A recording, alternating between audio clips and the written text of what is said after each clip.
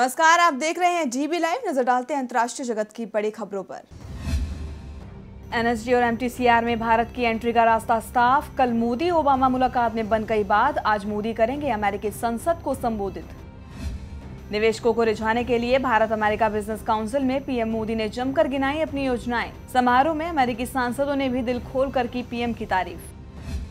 अमेरिकी राष्ट्रपति Barack Obama ने पाकिस्तान को दी हिदायत। कहा, पठानकोट हमले के दोषियों को दे सजा। ओबामा ने आतंकी खतरे के खिलाफ भारत के साथ खड़े होने का संकल्प भी जताया। इंडोनेशिया में छह दशमलव चार तीव्रता के भूकंप से कांपी धरती। उत्तरी मुलुक प्रांत में भूकंप से 18 मकान ढहे। ब्राज़ील में स्वाइन फ्लू का कहर। इस साल हुई चार मौतें। फ्लू से चिंतित सरकार ने शुरू किया टीकाकरण प्रोग्राम। तो ये थी अंतर्राष्ट्रीय जगत की बड़ी खबरें। देखते रहिए टीवी लाइव क्योंकि यहाँ है खबरें लगातार।